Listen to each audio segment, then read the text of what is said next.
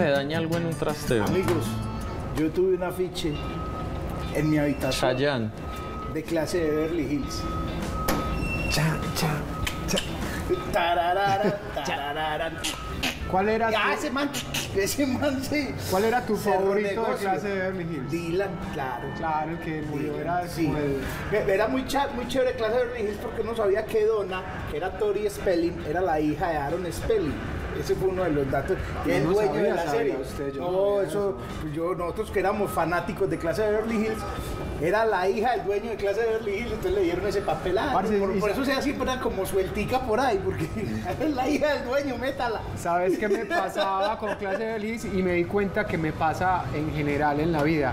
Y es que me gustan como las relegadas, la- las aparte. Pues a mí me gustaba era la gafufita. Claro. Que, te- Que que era ma- ñoña, sí, que era que muy ñoña.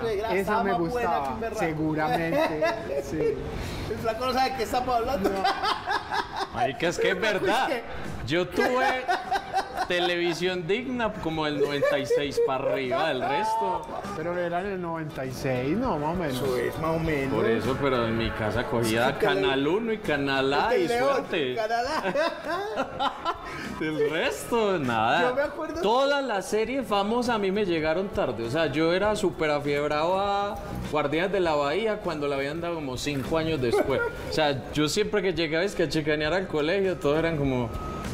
A mí me da pesar porque Parce, vaya, hable con uno de primero.